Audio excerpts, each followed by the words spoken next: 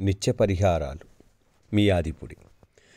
మాసాల్లో అన్నిటికంటే మంచి మాసం అంటే భగవంతుడు స్వయంగా శ్రీకృష్ణుడు చెప్పిన మాసం ఏదయ్యా అంటే మరి మార్గశిర మాసం.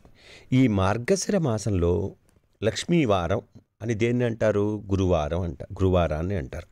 అటువంటి గురువారం రోజున లక్ష్మీదేవి పూజ చేస్తే మనకు ఖచ్చితంగా లక్ష్మీ కటాక్షం కలుగుతుంది. మరి అందుకనే మార్గశిర లక్ష్మీవారం నోములు చేస్తారు. ఒకవేళ నోములు వ్రతాలు లక్ష్మీవారం నోములు వ్రతాలు చేయలేని వాళ్ళు కనీసం లక్ష్మీ పూజ చెయ్యాలి.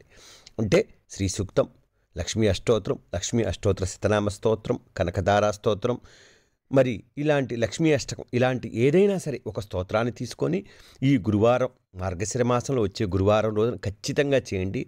లక్ష్మీ కటాక్షం తప్పకుండా కలుగుతుంది.